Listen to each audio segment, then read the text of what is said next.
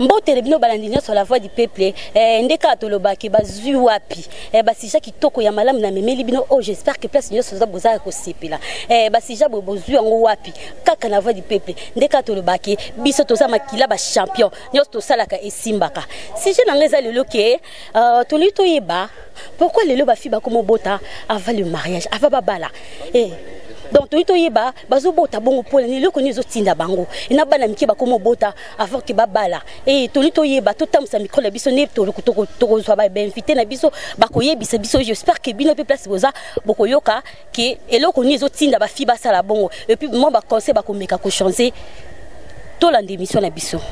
merci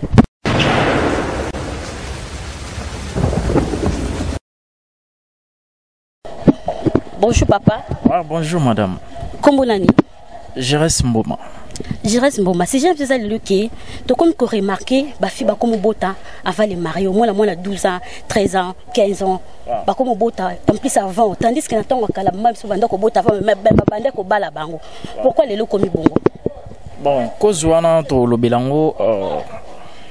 bafi bazobota avant c'est dit ya baimpatience ba ebele ozomona c'est-à-dire kozela eza esusu te vi nyonso eko nyonso ekomi na presse c'est-à-dire balingi su kokwara na bapromesse te puisque bapromesse comme la promesse c'est une dette mpo na bango en tout cas dette wana ezala jamais réalisé c'est dit asa yango omoni baobota bibotabota et puis voilà yo mpo na yo tanke bafi baza baimpatiente nde bakomobota siko par exemple alingi mobali moko boye azozelise libala kaka mobali azozelise libala wana mm. zemi omona aza na mwa moke azwi zemi avant a mobali wana asundoli ye akomi koloba ke ngai epai na biso tobalaka nano tobotaka nano ava tobala wana okondane mwasi to okondane mobali te me wana eza claire tokondane mobali mais mwasi avandaki wana parce que andimelaki bapromese ya mobali wana tu vois c'est-à-dire ba eza ba réalité mususu existaka na monde à love mais l'air yo pe mobali azo promettre yo yo pe oza aveugle te ozomona c'est-à-dire faut ozwa d'ailleurs idée que non oh, est ce que moto azo promettre nga ozala capable ya koréalise nga la longue ozomona mobali mususu aza incapable peut-être ou bien asalaka te atanga réconsort ondimi kovanda mais faut boyeba préservatif ezali ozo comprendre donc voilà so boyebi ke boza nao capable te mobali anao capable te réaliser ba, ba, ba rêve wana en fait ba promesse na ye epa na yo alors vous se préserver so bozala na accès ya kosala yango bien que la bible interdit ça mais monde à part bolingo eza monde à part donc voilà so bozala capable ya kosala yango bo se préserver puisque tokopekisa bino te mpo boza déjà baadulte ba peut-être tosupposé voilà un peu siko eloko ozosala vraiment mpasi eza su mikolo te komi na bana na mike omwana mwana 12 ans ana 2 bana 3 bana eza nini ezotinda bana wana mike wana babota avant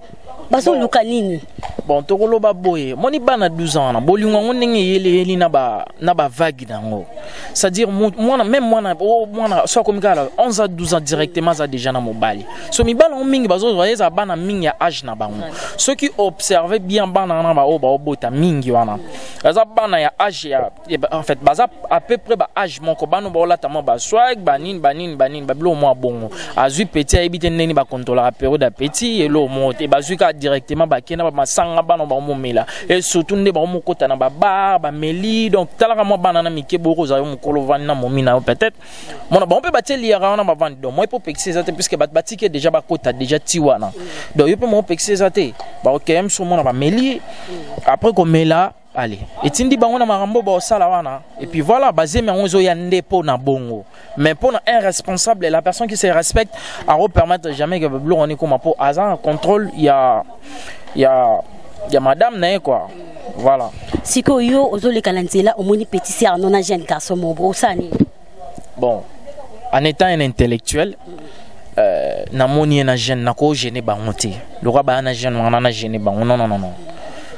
mais nakozwa leki nazongisi ye na ndako lea nazongisa leki na ndako nasokipe plus na leki na nga e non euh, na jeune wana puisque leki na nga so azotambola na jeune aseke leki moto andimaki batambola bango mbale donc sadi so leki aboyaki banga batambola te nazwa leki nazongi ne na ndako lelo naoma naye na ndako puiske sujet tabu ezalaka esusu te fo ovandisa mwana vandisa leki encore bana mikolo bakoma impoli ntongo ovandisa ye osombela nga lipa te omwa posalela leki eloko te yango aki olinga gene moko bopasala yango wana omoni baréalité l'une des choses mpe oyo osalaka eh, euh, bana basi omonaka bana bakoma ebele yango wana kozanga koyoka toli na palais même boza na eloko moko te mais quand même lere baopesa conseil fo oyoka conseil eza éducation mobimba mm. donc so même papa aza na makoki ya kotangisa yo te mais lere aopesa yo conseil azolakisa yo déjà ndenge nini okozala pardon à la longue euh, nde nini okozala epuis voilà c'est ça merci beaucoup papa na nga mwa conseil mokie mpo na bana oyo bafille oyo bakomi kobota avant le mariage mwa conseil mpo na bango parce que conseil no mpe ekoshanise bango bakotika mpe wa bon conseil eza juste que Oh, bino bafi oyo boyokaka batoli te bozomona conséquence ndenge ezokorrige mieke conseil mm. bati bino mo bozomona déjà donc bafi mare bakomi ebele et pour ça yango fo bose préserve boyoka conseil ya baparent na palin mm. boyoka ya bagrand frère botanga classe plus important mm. bana na mike wana ba oyo baosala ba betise wana omona ke parent kaka nde moto omona azwi charge na yo ekomi lo bokomo souffrir na pale mpe basundoli yo mpo ah, na isi au congo on souffre et c'est à cause de tout ça là yango esala ke papa alembi akomi soule à tout moment donc voilà donc eh, bino bozala un peu bapatiente boyeba ndenge nini ya kotanga koevite babiloko ekomemela bino Oh, quoi ba malheur à la longue quoi voilà conseil na kopesa bino mwana quoi merci beaucoup oza mwa ba dédicace na yo na numéro ya telefone esa mwa super bien quoi voilà ba dédicace na ngai ezanga na bato nyonso baoza occasion olanda eloko en fait émission oyo donc euh, nga je reste mboma na intervenir encore et puis voilà ba sujet eza vraiment important yango tokolobela yango mpo bato bakoyoka yo moto otala ngai ocomprendre que non eza mabe otika c'est ça voilà donc numéro ya telefone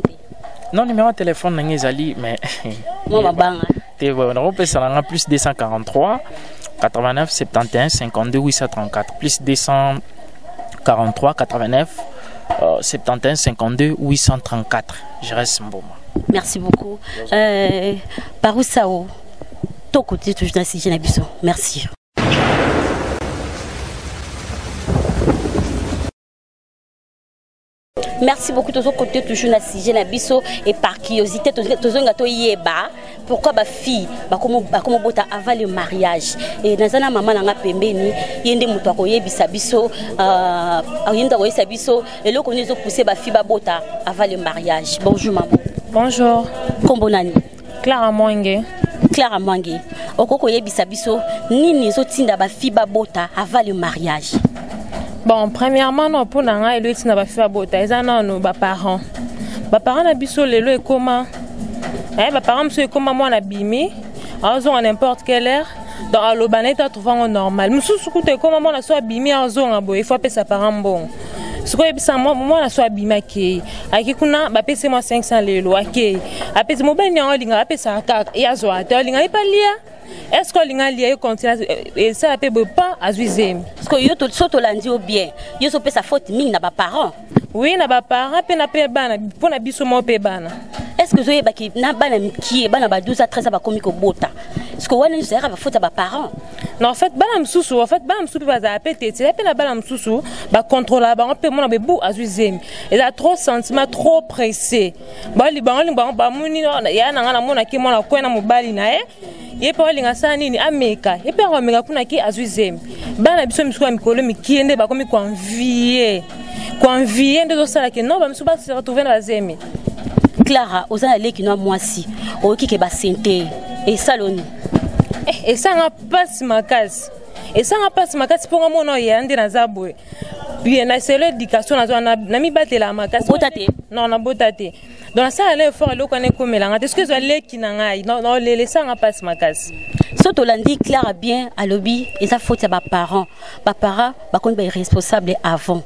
ke mwana ntango mosusu na ndako mosusu batiza terme moko boye na ntongo débrouillez vous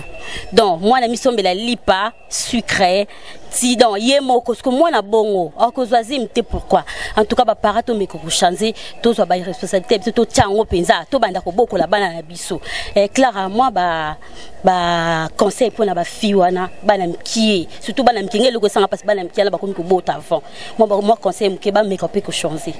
eh, conseil na opesa bana biso ya mikie bana biso ya mikie oyo balingi trop kisentiment no batika eza bien te oza mwa mokie tanga classe tanga classe soki mpo bana nde bana biso bazalaka no soki baparent balandela kote yo moko prendre prend conscience ya vie na yo moko parce que parent nde basali nde da vie na ye asali vie na ye yebisa nso obotili mwana moko oki ya mibale na yango souffrir yo bato mpe sufra plus eza mpe basi yo nde osufrire plus ntango mosusu obanda otanga puis pardon et puis ezalaki ya liboso ezalaka erreur ya mibale ezalaka buzoba mais leo tokomi oremaki ekoma 3 4 omoi aza no mpe bapara na ye aboti 4 bana 5 bana mpo na yo siko bongo ya mabe to malamu kasi wana eza déjà mabe en plus e, e, wana sikoyo edépendre na mobali nango ozwi zemi mosusu ozwi zemi ya mobali moko boye ntango mosusu asala na ye tala ye na salon basombelaki ye lipa sikoyo ozwi zemi ya liboso ozwi so ya mibale bana nango asouffre plus eza yo et plus en plus bato bakozwa no responsabilité ya mwana na tanso baparent baparent otie no baparent no na mpasi yo moko na omitie su na mpasi merci beaucoup clara numéro ya telefone ya mabanga esa mwa super bien quoi oui numéro ya telefone eza 089 62 54 364 089 62 54 364 mabanga na ngai napesi ma mama chérie magi mwange balobi mwasi ya choco frappant napesi mbote na bedi tumba mwasi ya pembe merci beaucoup mpona libanga napesi bana nyonso ya ipene bambote bambote ya biso nalingi bino mingi mm, merci parusao tokote toujours na sujet na biso merci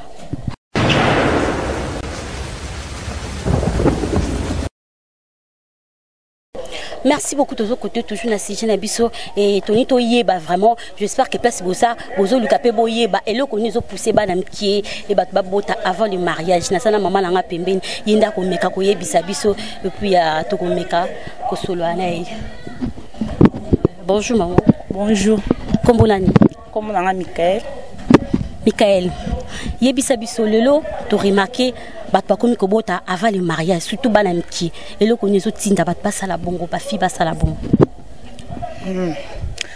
bato bakomi obota mpenza lokoso bakomi obota trop bana mike eza nini eza lokoso mwana moke alingi kaka so amoni yaya moko boto grande stere na ye aza iphone na ye to aza s5 to aza na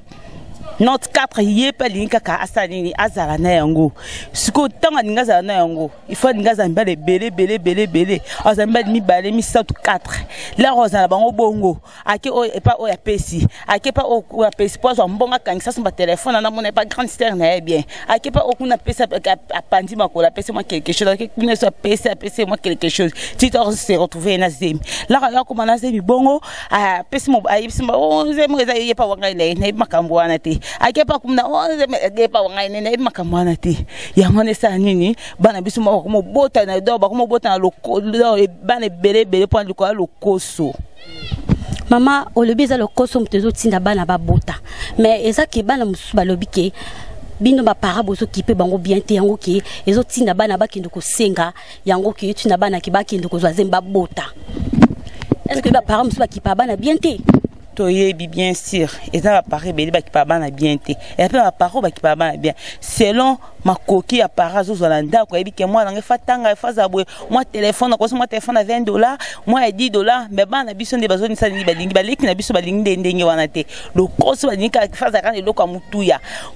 para koyeba ke mwana ya mosaki classe mwa mwana kekene classe takesani bakela bakamari baketambola tambola baketambola tambola baketambola tambola bake mosu akende epo bakamarade mo bake balambisi to bake bamoi mwa mobali mo balingi bao bake balimi balingi bapesi bango mbongo bake balambisi aki mpo motu boye apesi ye mbongo asali nini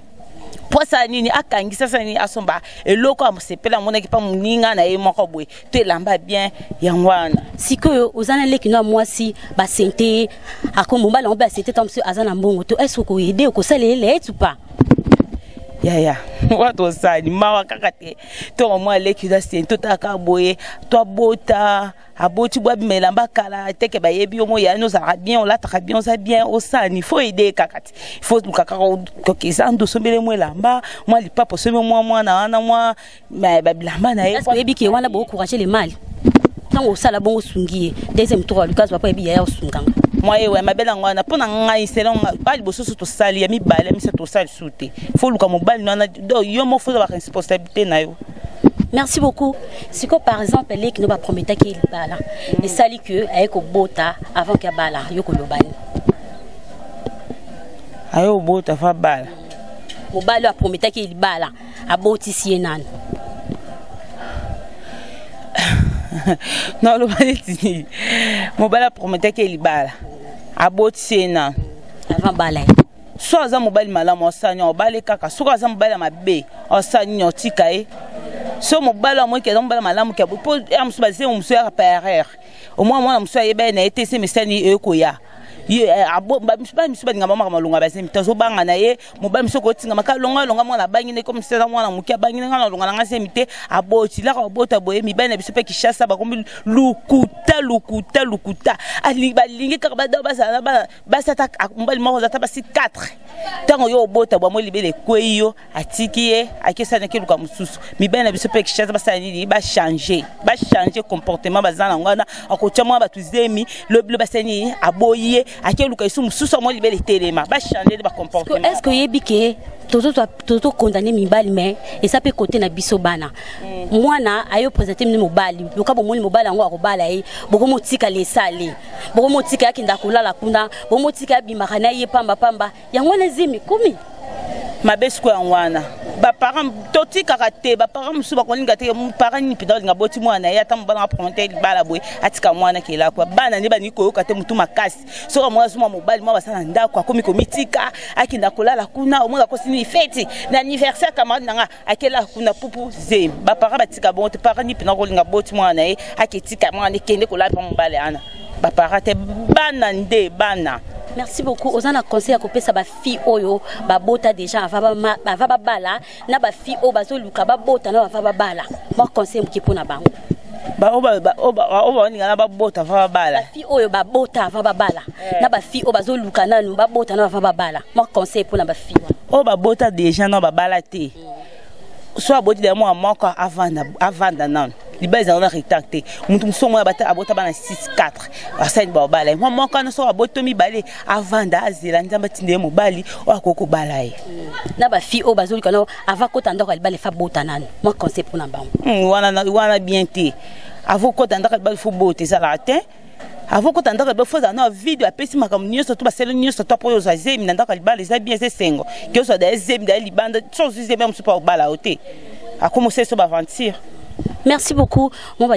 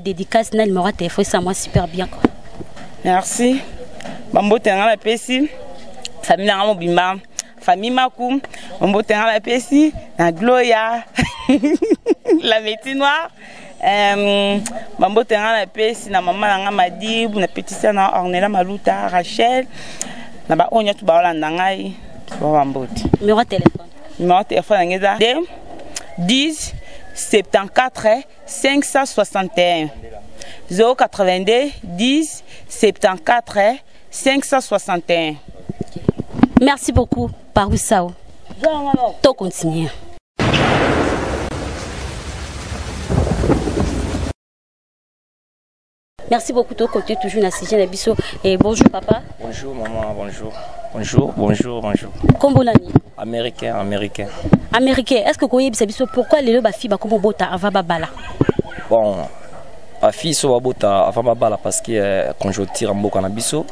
na ba imitation ba imitaka ba film ya film ba nigérien ekota bazotala bana mike bazotala ba film bato baza kosambrasane moto elo tosala na mokili oyo tovivaka nde oyo tomonaka nde oyo tokopiaka yango par rapport ya bongo yango nde esalaki no bana mikie meme mwa nga nayebi kenda na jeune fille moko boye aza moke makasi ayokela nga zuwa akokoma pa meme abisa parce que yo vivre na mwana mokie eh, nga na ah, oyebi nayebi aderangeaka nga trop mais aza moke ayoki ah, souvent so amonanga bien na mwasi omona ayoki zuwa makasi mais nayebi idée na bango idée na bango eza tantôt batalaka basérie babiloko wana bamour yango ezosalaki bamona meme Mm, nkolo amoni rien kobota mpo na bango eza na yango eloko te donc soki tolandi bien soki lelo baserie ezotalama esu te bana mpe bakosi kobotabota te normalement normalement eza baserie moto ebebisa na, na façon ya biyema nde moto esalaki bafille na biso bakopiaka bongo bana misusu ya mikie ekozala mpe nzoto nzoto ezango mokolo mibali balolanda esadi mpe accord yango monaki ezosinda ke babota babota merci beaucoup est ce que oza mwa conseil ya opesa bafille oyo bazobotabota epuis bana mike mwa conseil opesa bango conseil ngai na opesa bango kaka keno batala te mpe na ndenge baotala basala oyo bakoki kosala mai bayebaka keno bayanviyaka trop ndako ya libala ndako ya libala moto epesaka valeur partout na misala meme biso mpo lelo tozala na bavaleur esengaka toujours keno bayebaki oza marie soki jamais okoyebisa bango te na likango na kati ya ndako nde baozwa na société non likango ezalaka deya sini moko ya moto aza moins sérieux na sens wana merci américain mwa mabanga na numéro ya telefone sa mwa bien bon ngai américain bas naza musicien papa wemba naoki répétition hmm. torepete na bandal avai na lemba en tout cas napesi jokenda mbote bavie na ngai christian kiame natasha nzeba ya na ngai na mikili nayebi kolanda yango na eleka apasa awa hmm, la voix du peuple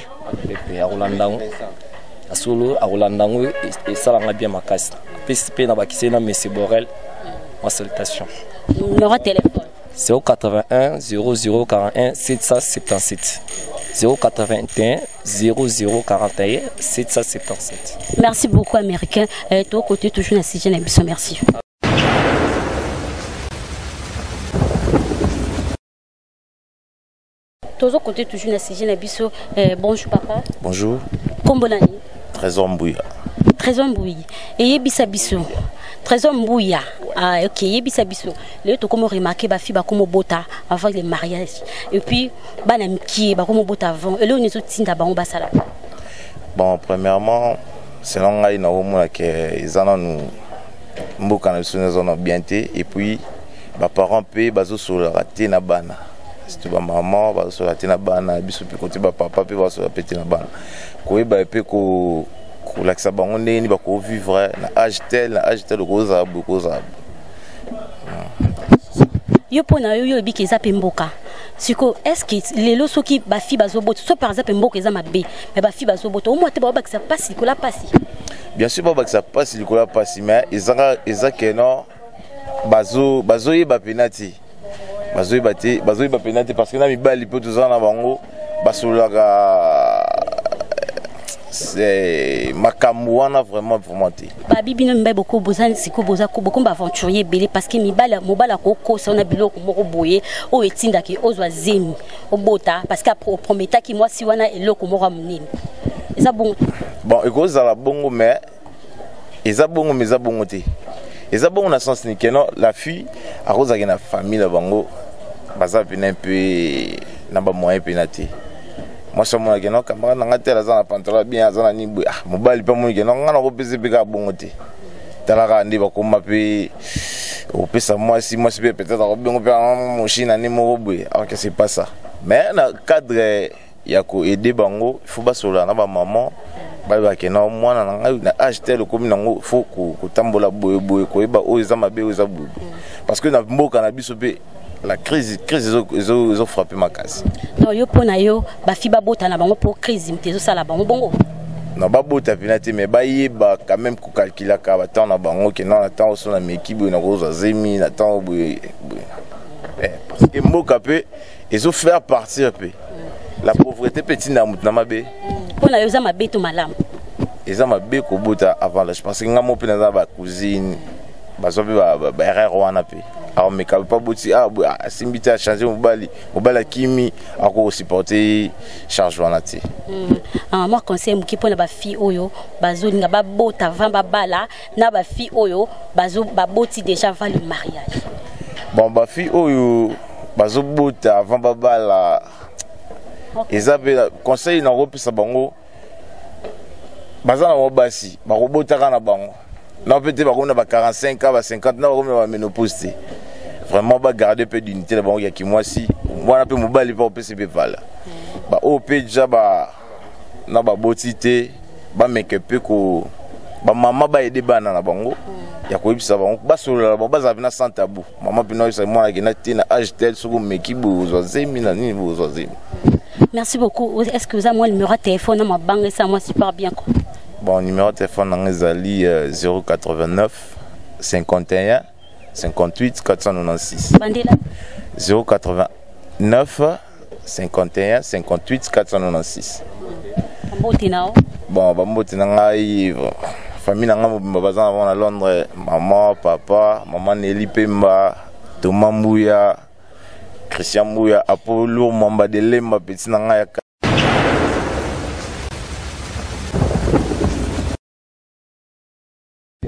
merci beaucoup tozo continuer toujours na sujet na biso eh, tozo meka koyeba tozo meka koyeba nini ezo pousser ba, ba fille babota avant le mariage et puis bana mikie eh, naza na mutu moko j'espère que nga na yebi mais ye moko se présenter et boyeba ye euh, bonjour bonjour kombo nani eyebana nango déjà niclete botamba mwana mongo loketo pete niclete botamba mwana mongo loketo pete eh, yebisa biso lelo toremarke bato bakomobota avali eh, bana basi bakomobota bafi bakomobota avali mariage epuis eh, mingi tokomona bana mikie eloni ezosala bongo bon omoni neti mambo akobota avana mosusu mpe eza problème ya éducation mosusu eza éducation moto azwa banda na ndako na bango neti biso boye neti ngai naza boye mama soma mpa biso libala ekufa tema mama somo tabokola biso abokola biso lokola mwana mobali donc yo moko obanga de osala mabe mpo omwaka so na memi zemi a bakobimisa ngai ata mwana na monoko donc nde mpe toza boye oyo toza lelo donc mosu eza problème ya éducation siko nikle ntango yo olobi éducation eza problème ya éducation nazongi mbamo na bafamille ya boa vita est ce que oyebi parent mosusu baza na mbongo mama aza na mbongo papa aza na mbongo mingi na ndako molai abimaka te mais mwana azwi zemi est ce que wana oloba éducation mpo mwana na bande kodike bien anda kobima te anda kobima anda ke classe na bagarde corps kozonga bagarde corps soki azwi zemi ndeni ongo baka éducation bon omoni ekoki na bagarde corps to mosusu na baklasse wana yango eza yango éducation te omoni ubie so papa aza mbongo ubie mama aza mbongo eyolakisa te ke o ntango mosusu emona mpoka mo bavanda mpe baza koedike balelo omo elakisi eza nango te omona mosusu mpe kozala ntango mosusu baza na bango koedike obie na ndako mai ntango mosusu okei na classe okokuta na bacamarade mosusu oyo deja bapola baobetolo masolo mo boye de bon yo mosuku okokuna yoko mosalasa neti banini oko motindo mpo omeka te kuna wapi kuna wapi ah bedi tumba oh. tanga leo nakomona yango ti mpo nga mpe na comprendre bato baolanda bacomprendre te oh mais dans l'idée seko mobeta beta okomoluka osala neti obetaka basystématique okomeka mpe ba bina filete oh, mais oui niclete yebisa biso fille moko boye aviva na fiancé na ye apropozaki libala bu azwi zemi okondane fille to mobali bon bedi boye ezala yango mpe fille jeune fille ah sona okondane fille to mobali mais faute na bango mibale te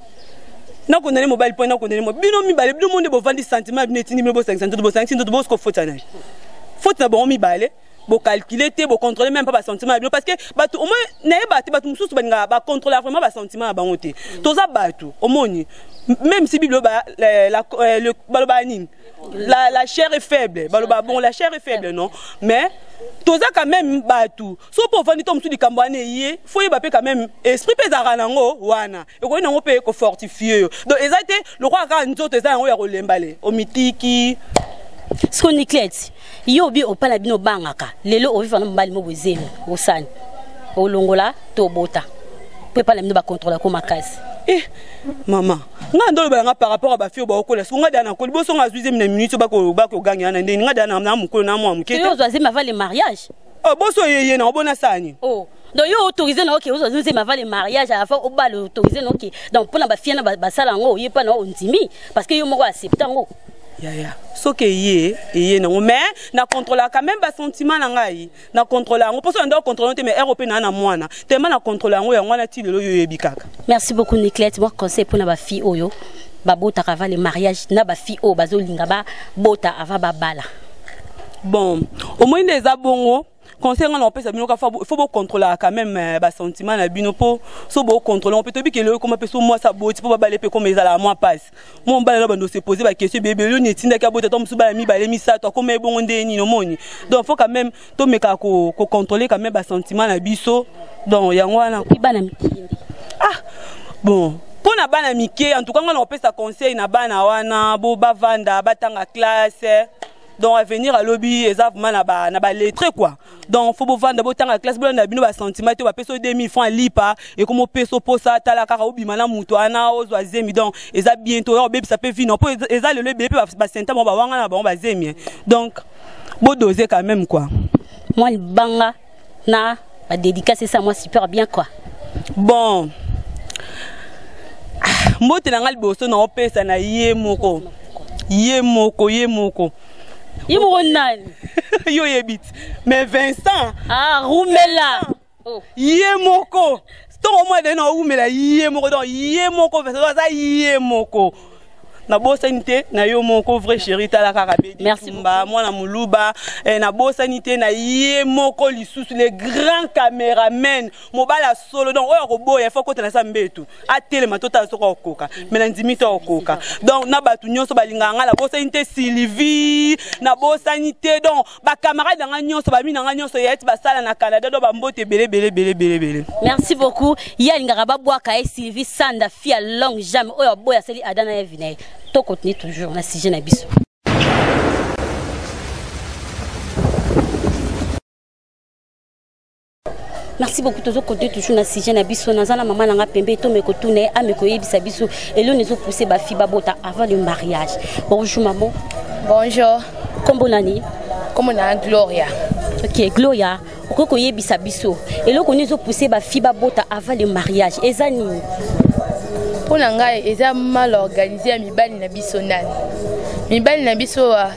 lokuta etondi bango na minoko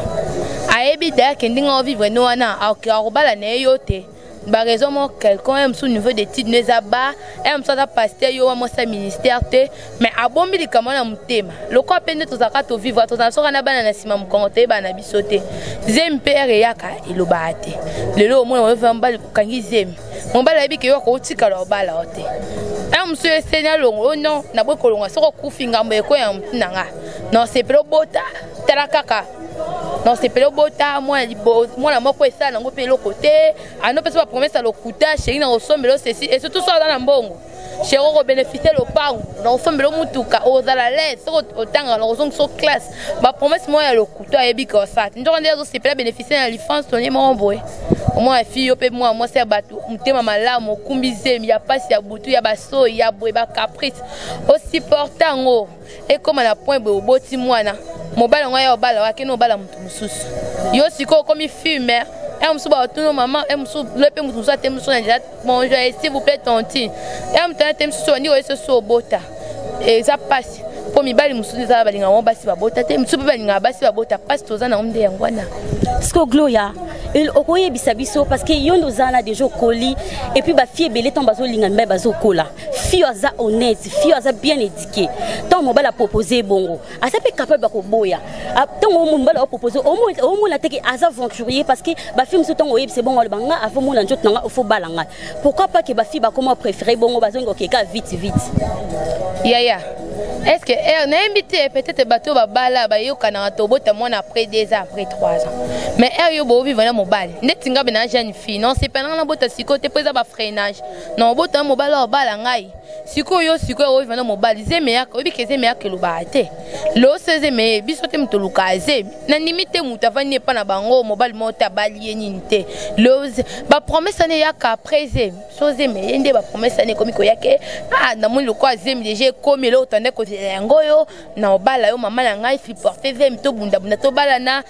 tala kaka mwana liboso boye na boye kolongola makambo eza ebele okoki okufa okokende perte mwana moko esala nango elota mo basala exemple baya na bango babota ta ya na moko ya bota meta nini nzoto na beba na ye tazani ka normal boye yo kasi obebi yo kasi ta vie esuki omaka vie esuki na yo te vie eza na yango kaka so gloria to remarquer que ekomi na bana mike bakomi kobota mwana mwana 12 ans 13 ans 15 ans oleki asisa klasi alandi aboti basente eza lisusu biso mikolo te ekomi pliske bana mike eloo nini ezotinda bana mike wana babota mpo na ngai eza leur consona envoutment mpo mwana mosusu epai na bango bayebi meme pa linga ya mibale azokende klase na ndako bayebi kake klase nzoka nde akende pa mobali ake pa mobali kuna babakule moi moi ayebi nde mpe baformi te basystématique oyo bayaya bayebi te baformi nini ntango tenge so baformi nini bazwa mayele mpo bazwa suzieme te ayiwa baformi kaya tanga elo nalela nkombo na ngo baformi na biso basi oyebi ya monstre ke pa mobali mwa kisi moko be mwa boye oyebi ke ah, nakolinga te nakanga zemi tu vois so oboti kayar esili komelisa mwana oke bwati to ke place boye te tu vois okomi mama ndako mama palais alors avant l'age eza problème lokoso nde eleki bango ngai na okondane bana na biso ya mike balingi kolinga mibali na bandako bayebi bango bazotanga ndeti na ndako bayebi mwana ke classe nzoka nde bilamba na kati ya saki achange bilamba akepa mobali mobali ozolanda yo oyebi te eloko te osola ata na mama na ndako osola na mama te nini na bagrande te osala makambo lokoso lokoso alezemi ya reya hmm? na ndako babengani yo tokoma remake bana yango mpe bakoma olinga so mibala ntina te azwi zemi na mobali okuti ntango mosusu aza ne salomo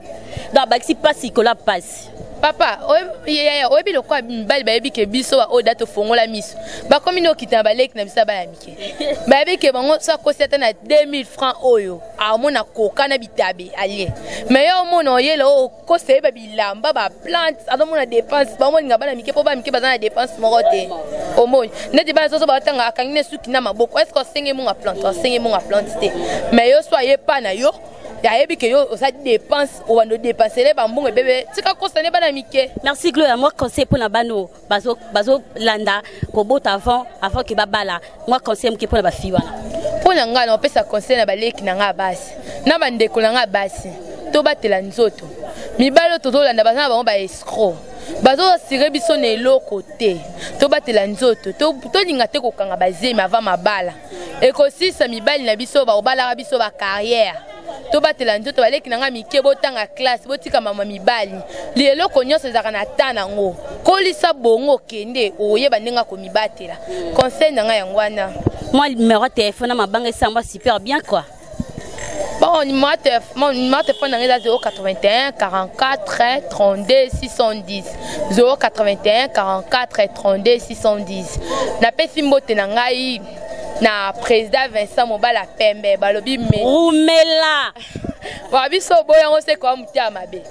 napesi mbote na ngai na mikael mandeki mwasi ya poto akoma poto te maza na experience koleka bato ya poto napesi mbote na ngai na famille kila famille mayele famille maku famille mandeki napesi mbote na ngai na bato nyonso balingaka ngai baoyo basepela na ngai baoyo boyinanga nalingaka bino fort napesi mbote napesi bajournaliste nyonso ya la voix du peuple mbote napesi mbote na cameraman na serie fawisa ba biso boye osambwe oyo azwa image ndeti ka na france mais na kini merci beaucoup parusau tokontinue toujours na sujet na biso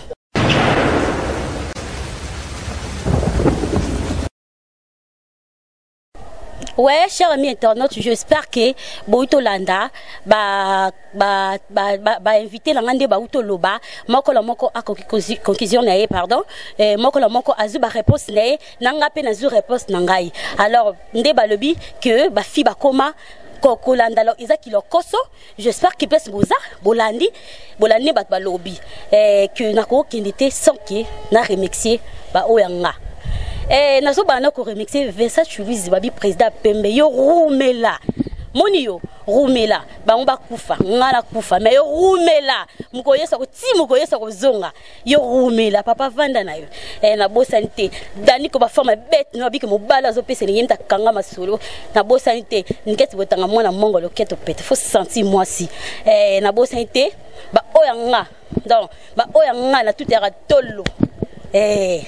be, benedite esayo mwasi azobimisa sola miliki abisa sola miliki oyo mwasi akopesa elengi nabosa te shekine sao babi ke shekine sa lo riche eh na bosa te lo riche moi ça zaka na façon na ye alata bien aseka bien aloba bien aka la façon na ye na bosa te sivi sanda fi ya longue jambe faut sentir mwasi eh, na bosa te clairement mwasi aza sans hydrokino mwasi ya mwindu na bosani te vie na ngai jado olemba fumu ya zerlande fumu ya zerlande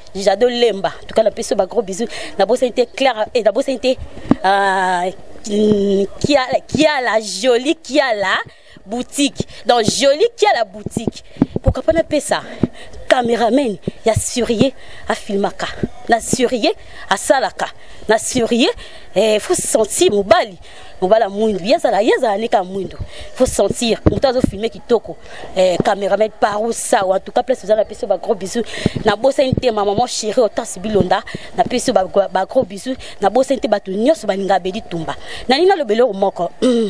naza a naza beli tumba journaliste ya bino bolingaka naza na mposa baremarke so bomoni eloko moko nasali ya mabe eh, bobengi président na nga baoyo baza nimero na nga te bobengi président na nga boyebisi ye parce que remarque ekolisa mosala mi président président na nga ayebisi nga epuis oyo aza ami na nga facebook akomeli nga mwa remarque moko j'espère que nakozala wana mpo na kosepesa bino eh, nayi naloba mpo na yango bato nyonso bolinga la voix du peuple borumela baoyo oh, bolinga bato mosusu bokufa en tout cas merci natiki bino déjà bayo